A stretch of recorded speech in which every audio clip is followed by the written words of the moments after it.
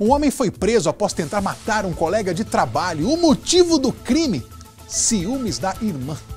A tentativa de homicídio aconteceu nesse prédio, que fica no centro de Novo Hamburgo, cidade no Vale dos Sinos. O crime foi entre companheiros de trabalho. Eles dividem um apartamento aqui neste prédio, no centro da cidade. John Lennon Fontoura Simões, de 27 anos, atacou o colega com uma faca. O motivo? Ciúmes, da irmã do agressor. A vítima teria começado uma conversa por celular com a moça.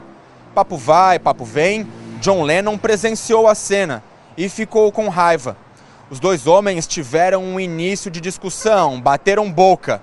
Eis que veio o golpe. Segundo investigações da Polícia Civil, minutos depois ele foi encontrado pela Brigada Militar e foi preso em flagrante por tentativa de homicídio. A vítima, que não teve a identidade revelada, foi encaminhada aqui para o Hospital Geral da cidade. Ele está em estado estável e não corre risco de morte.